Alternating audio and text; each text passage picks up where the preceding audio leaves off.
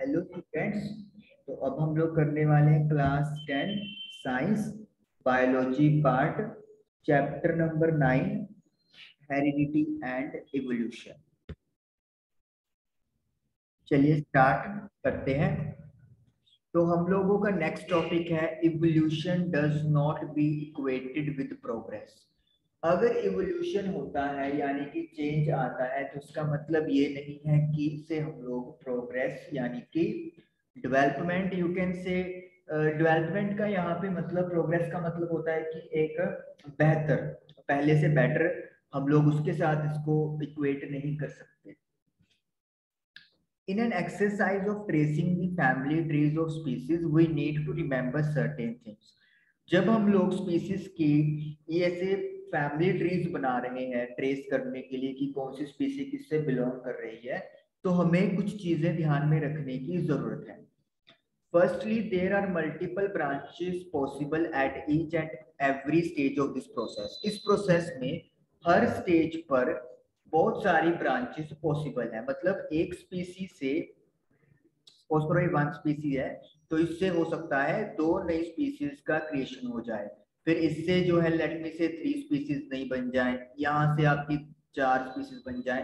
तो मतलब multiple branches are possible काफ़ी सारी ब्रांचेस पॉसिबल हो सकती हैं। So it is not as if one species is eliminated to give rise to a new one और ये ऐसा भी नहीं है कि एक स्पीसी को एलिमिनेट यानी कि खत्म होना पड़ेगा, ताकि दूसरी नई स्पीसी जो है वो बन सके या फिर नई दूसरी स्पीसी बने। इसके लिए ये ज़रूरी नहीं है कि पहले स्पीसी को खत्म होना पड़े। A new species has emerge and नई स्पीसी आई है। But that does not necessary mean like the beetle example we have been talking about that the old species will disappear मतलब पुरानी स्पीसी डिसअपियर हो जाए, ऐसा नहीं है। जैसा कि हमने बीटल के केस में देखा था, जब रेड बीटल्स और वहाँ से ग्रीन बीटल्स की एवोल्यूशन हो गई थी और फिर वो एक नई स्पीसीज ही टाइम के साथ बन गई थी। It will all depend on the environment ये सारा एनवायरमेंट के ऊपर डिपेंड करता है कि जो नई स्पीसीज है वो एग्जिस्ट uh, कर सकेगी और कितना टाइम तक रह सकेगी या फिर पुरानी स्पीसीज जो है क्या वो सरवाइव कर पाएगी बदलते हुए इन्वायरमेंट में। सब इन्वायरमेंट के ऊपर डिपेंड करता है। also, it is not as if the newly generated species are in any way better than the older one. और ये भी नहीं है कि जो नई स्पीसी जनरेट होगी, वो पुरानी वाली से बेहतर होगी। ये भी हम लोग नहीं कह सकते। It is just that natural selection and genetic drift है together led to the formation of population that can not reproduce with the original one ये सिर्फ़ इवोल्यूशन एक ये चीज़ है कि नेचुरल सिलेक्शन और जेनेटिक ड्रिफ्ट ने दोनों ने मिलकर एक ऐसी पॉपुलेशन बना दी है जो पहले से मौजूद या ओरिजिनल पॉपुलेशन के साथ आप रिप्रोडक्शन नहीं कर सकते। मतलब ये नहीं है कि जो नया प्रोडक्ट बना है, नई स्पीसीज बनी है, वो पुराने वाले से बेहतर थी। So for example it is not true that human beings chimpanzee तो ये कहते एग्ज़ाम्पल के लिए सही नहीं है कि ह्यूमन बींग्स जो है वो चिपेंसी से इवॉल्व हुए हैं। Rather, both human beings and chimpanzees have a common ancestor a long time ago. बल्कि ह्यूमन बीइंग और चिंपैंजी दोनों का कहीं ना कहीं पूर्वज कॉमन थे बहुत टाइम पहले। वहाँ से कुछ ह्यूमन बीइंग में कन्वर्ट हो गए और कुछ चिंपैंजी में कन्वर्ट हो गए। That common ancestor is likely to have been neither human or nor chimpanzee तो वो जो कॉमन एंसेस्टर है वो ना तो ह्यूमन है और ना ही चिंपैंजी है Also, the first step of a separation from their ancestors is unlikely to have resulted in modern chimpanzee and human being. तो कहते हैं जो पहला स्टेप सेपरेशन का हुआ होगा कि पूर्वज से इवोल्यूशन हो गया नई स्पीसीज बनी उससे जो आज का चिपैंजी है या ह्यूमन बीइंग है वो बन गया हो ऐसा नहीं होने वाला। मतलब जो आज का मॉडर्न ह्यूमन बीइंग का लुक है वो भी धीरे धीरे धीरे धीरे इवॉल्व हुआ है। Instead, the two resulted species have probably evolved in their own separate ways to give rise to the current forms. बल्कि जो दो नई स्पीसीज बनी है that is human being and chimpanzee उनका धीरे धीरे मोस्ट प्रोबेबली कहता है चेंजेस आया होगा अपने अपने तरीके से। और उससे वो उनकी आज की करंट की फॉर्म तैयार हो गई। जैसे हम मोबाइल फोन्स की बात कर लो क्या आपके पास जो हमारे पास आज टचिंग मोबाइल है, क्या वो स्टार्टिंग में ही हुए थे? नहीं। पहले आप लोगों के पास बड़े बड़े फ़ोन होते थे मोटे मोटे से होते थे, फिर धीरे धीरे धीरे धीरे जो है उनके अंदर चेंजेस आते गए नए नए फीचर्स ऐड होते गए। और आज की डेट में हमारे पास जो नए फीचर्स के मोबाइल फ़ोन है, वो इवॉल्व हो गए हैं। और फ्यूचर में इनमें भी चेंजेस आते रहे हैं। आते रहेंगे। तो इसका मतलब क्या है? जो सेपरेशन है, वो कुछ और अलग फॉर्म में होता है, बाद में उसका मॉडिफिकेशन करके और बन जाता है। In fact there is no real progress in the idea of evolution बल्कि कहता है, अगर हम लोग इवोल्यूशन के आइडिया में बात करें कि प्रोग्रेस हो रही है तो ऐसा कुछ भी नहीं है। Evolution is simply the generation of diversity and shaping of diversity by environmental selection evolution का मतलब क्या है कि आप एक ऐसी स्पीसी प्रोड्यूस कर रहे हो जो कि डाइवर्स है, यानी कि पहले से अलग है, और वो डाइवर्सिटी का जो शेपिंग है उसको कौन डिसाइड कर रहा है? इन्वायरमेंटल सिलेक्शन अगर वो स्पीसीज एनवायरमेंट में रह सकता है सरवाइव कर सकता है, वो कंटिन्यू होता जाएगा, या फिर उसे अपने आप को एनवायरमेंट के अकॉर्डिंगली अडेप्ट करना पड़ेगा. The only progressive trend in evolution seems to be more and more complex body design have emerged over time. तो हम लोग प्रोग्रेसिव ट्रेंड को सिर्फ़ ये कह सकते हैं एवोल्यूशन में कि पहले सिंपल बॉडी वाला ऑर्गेनिज्म था और धीरे धीरे धीरे धीरे जैसे जैसे इवोल्यूशन होता गया या न्यू स्पीसीज बनती गई और ज़्यादा से ज़्यादा कॉम्प्लेक्स बॉडी डिज़ाइन वाले ऑर्गेनिजम्स डेवलप हो गए However, again it is known as if the older designer insufficient. लेकिन इसमें भी ये नहीं है कि जो पुराने बॉडी डिज़ाइन वाले ऑर्गेनिजम्स थे वो इनअफिशिएंट थे so many folder and simpler design still survive बल्कि कुछ पुराने और जो सिंपल बॉडी डिज़ाइन है, वो आज भी सर्वाइव ज़िंदा है। In fact one of the simplest life forms bacteria inhabit the most inhospitable inhabitants like hot springs deep sea thermal vents and ice in Antarctica सबसे सिंपल लाइफ है एक जिसमें आपका बैक्टीरिया की बात कर लेते हैं। वो बहुत ही ऐसे हैबिटेट्स में रहता है जो मतलब हमारे लिए अनुकूल नहीं होते। बहुत मुश्किल इन हॉस्पिटेबल आपका बोल सकते बहुत मुश्किल। जैसे कि गर्म झरने हो गए, उसके बाद हो गया डीप सी थर्मल वेंट गहरे पानी के अंदर जो पानी के मतलब रिसोर्सेज है गर्म, वहाँ पे रहते हैं।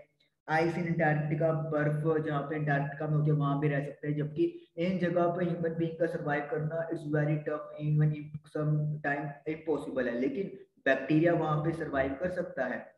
In other words human beings are not pinnacle of evolution तो इसका मतलब ये है कि जो हम लोग हैं ह्यूमन बींग है, वो सबसे ऊपर टॉप पे नहीं है कि अगर हम सोचे कि एवोल्यूशन हमारे पे आगे खत्म हो गया है, ये ऐसा कुछ भी नहीं है।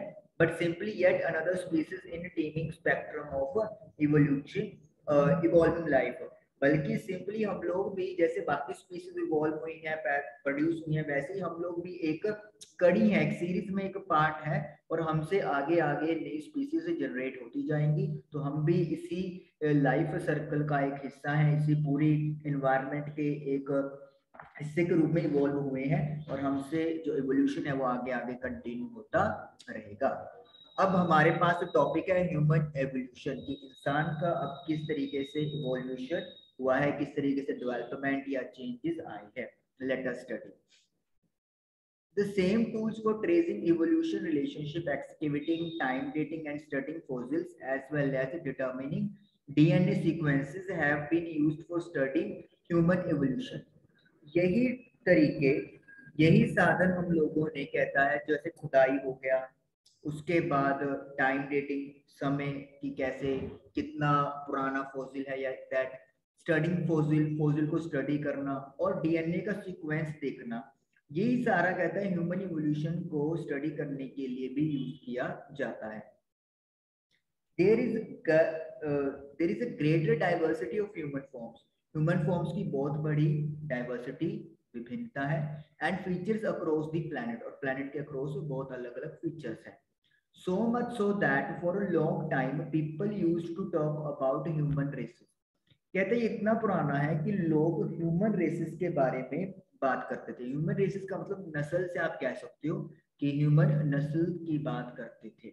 Skin colour use to be the common way of identifying this so called races और स्किन कलर जो था, वो सबसे मतलब आम तरीका था जिससे कि इन नस्लों को पहचाना जाया करता था। Some were yellow some were called yellow कुछ को येलो पीले सम ब्लैक कुछ काले व्हाइट या ब्राउन तो मतलब इसमें डिवाइडेशन किया गया हुआ था।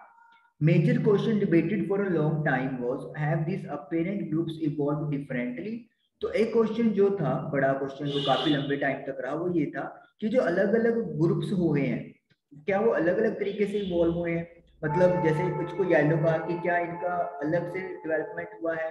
जिनकी स्किन का कलर ब्लैक था, क्या वो अलग डेवलप हुए हैं? व्हाइट वाले अलग डेवलप हुए हैं?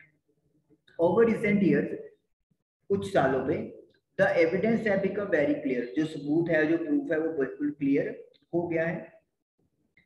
The answer is that there is no biological basis to the notion of human races. Biological basis के ऊपर ह्यूमन रेस इंसानी नस्लों का कोई भी आइडिया नहीं है। मतलब बायोलॉजिकल के बेसिस पे हम लोग कह सकें कि कलर अलग अलग है, ऐसा कुछ भी नहीं है। All humans are single species सभी ह्यूमन बींग्स एक सिंगल स्पीसीज है। मतलब एक जैसे अपन ने बोला कि ह्यूमन बींग जो है, और चिपैंजी का एंसेस्टर सेम था। तो यही ह्यूमन बींग में आगे चेंज आते गए। कुछ की स्किन येलो हो गई, कुछ की स्किन ब्राउन हो गई, कुछ की स्किन व्हाइट हो गई, और कुछ इस तरीके से बदलते गए। मतलब यही नहीं कि येलो वाले ह्यूमन बींग किसी और स्पीसी से इवॉल्व हुए ब्राउन वाले किसी और से व्हाइट वाले किसी और से, ऐसा कुछ भी नहीं है। नॉट ओनली दैट सिर्फ़ ऐसा ही नहीं regardless of what where we have lived for the past few thousand years we will all come from America इतना ही नहीं, कहते चाहे हम लोग कहीं भी रह रहे हो, कुछ हज़ार सालों से, हम सभी अफ्रीका से आए हैं। तो यानी कि अफ्रीका जो है, वो माना गया है कि ह्यूमन बींग वहाँ से मतलब उनका स्टार्टअप हुआ। The earliest member of the human species Homo sapiens can be trace there और ह्यूमन स्पीसीज की सबसे पहला जो मतलब आप लोग कह सकते हो मेंबर था होमोसेपियंस वो वहाँ पे मिला है ट्रेस हो चुका है, किया जा सकता है। Our genetic footprints can be traced back to our African fruits और हमें जो जेनेटिक्स जो जीन्स के निशान है, वो हमें कहाँ पे ले जाते हैं? अफ्रीका रूट्स यानी कि हम लोग कहीं ना कहीं सभी अफ्रीका से बिलोंग करते हैं। A couple of hundred thousand years ago सालों, हज़ारों साल पहले some of our ancestors left America कुछ पूर्वज हमारे अमेरिका छोड़ गए वाइल अदर्स स्टेड ओवर बाकी जो थे, वो उधर ही रहे।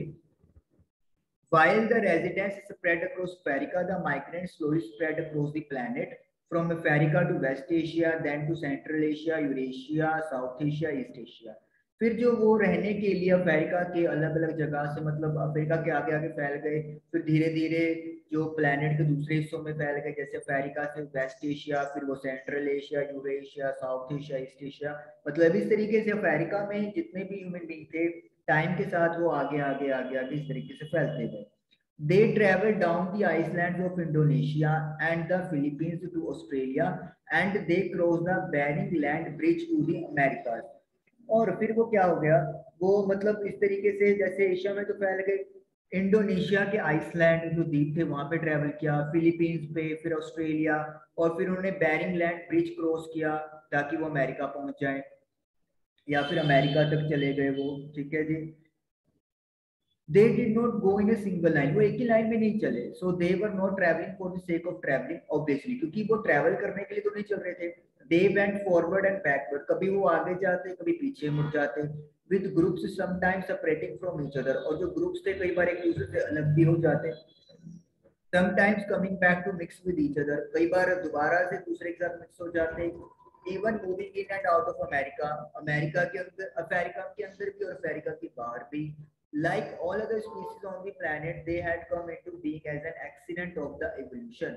तो जैसे बाकी स्पीसीज प्लैनेट के ऊपर हुई, वही उसी तरीके से ह्यूमन बीइंग की स्पीसी भी इवोल्यूशन होती गई and were trying to live their lives the best they could और वो सिर्फ़ ये कोशिश कर रहे थे कि वो अपनी ज़िंदगी जो बेस्ट तरीके से जी सके, जिसमें वो जी सकते हैं। इसलिए वो कभी अमेरिका से ऑस्ट्रेलिया, कभी अमेरिका, कभी एशिया यहाँ पे ट्रैवल करते रहे और टाइम के साथ बदलते हुए इन्वायरमेंट के साथ उनमें चेंजेस आता गया और आज जो आप लोग देखते हो अपने आसपास अलग अलग कंट्रीज़ में या सेम ही कंट्री में अलग अलग आप लोगों को मतलब ह्यूमन बींग की मतलब आप ये कह सकते हो कि देखने में जो लुक है वो डिफरेंट दिखाई देती है।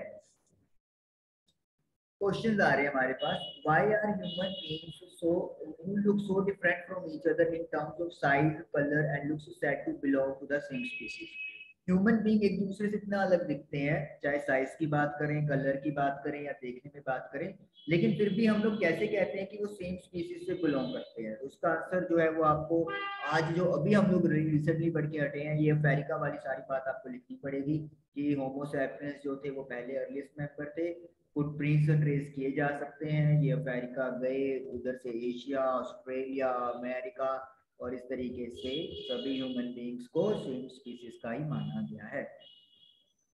In evolutionary terms, can we say which among bacteria, spider, fish and chimpanzee have a better body design?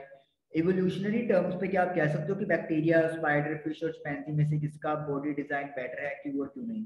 अभी हमने पढ़ा है कि बेटर बॉडी डिज़ाइन कभी नहीं होता इवोल्यूशन के साथ, क्योंकि जो बैक्टीरिया है वो ऐसे अपने इन्वायरमेंट में रह सकता है, जिसमें बाकी लिविंग बींग्स का रहना इम्पॉसिबल है। जैसे बैक्टीरिया कहाँ पे रह सकता था? हमारे देखा आइस में Antarctica thermal vents deep under deep sea hot springs में रह सकता था, लेकिन वहाँ पे चिपैंजी हो गया या स्पाइडर हो गए, वहाँ पे वो नहीं रह सकते। तो इसका मतलब क्या है? एवोल्यूशन का मतलब ये कभी भी नहीं है कि बॉडी डिज़ाइन आपको बेटर मिलेगा। आप लोगों को कोई सिर्फ़ ये मानना पड़ेगा कि बॉडी में चेंजेस आते हैं टाइम के साथ और जब वो चेंजेस एक लिमिट से ज़्यादा हो जाते हैं तो एक नई स्पीसीज बन जाती है। तो हमारा आंसर यहाँ पे बिल्कुल नो आएगा। तो हमारा जो चैप्टर है वो कंप्लीट हो गया है। We are left with what you have learn और हमारे कुछ questions to which we will do in next session thank you for watching the video